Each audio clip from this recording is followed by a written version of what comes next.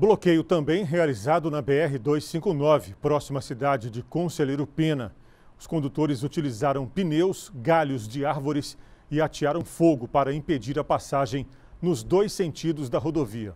O protesto também é pacífico. De acordo com a Polícia Militar Rodoviária, a cada 30 minutos, os veículos menores são liberados a passar, além de carga perecível e emergência. Segundo a PM, não há informação sobre a liberação desse trecho.